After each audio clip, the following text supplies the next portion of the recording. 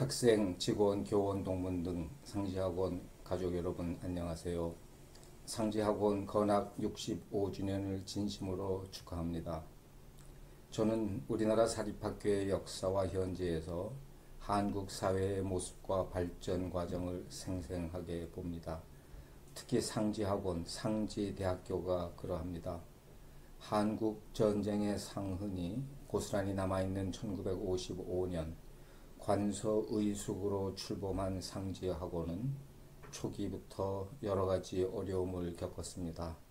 그러다 1970년대부터는 김씨 일족의 전횡으로 학원 본연의 모습을 거의 잃고 학교 구성원들은 그야말로 고난의 시대를 감내할 수밖에 없었습니다. 하지만 상지학원의 구성원들은 불법 무도한 김씨 일족 그리고 그들과 결탁한 정치 세력의 전횡과 탄압을 이겨내고 1990년대, 2010년대 두 차례나 학원 민주화를 이루어내는 데 성공을 거두었습니다. 이 승리의 역사는 상지 학원뿐만 아니라 우리나라 사학의 역사, 나아가 한국 현대사의 길이 빛날 금자탑이라고 생각합니다.